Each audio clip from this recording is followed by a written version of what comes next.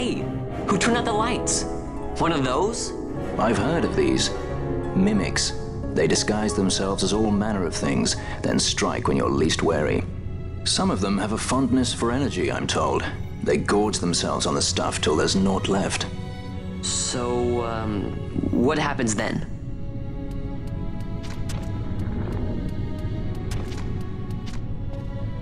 Lights out, and it's worse in the dark much worse. So, let them get too close to one of those conduits and they'll suck it dry. But don't worry, it'll give the energy back if you ask nicely.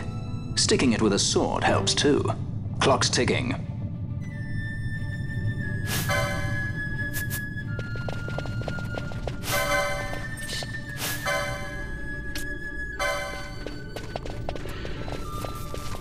Ha!